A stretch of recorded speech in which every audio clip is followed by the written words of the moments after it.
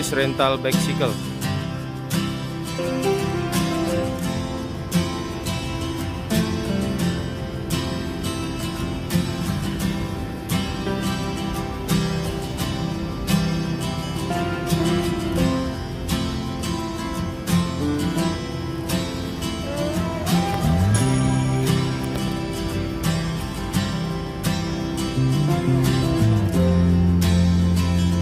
Now in Shinchu Station.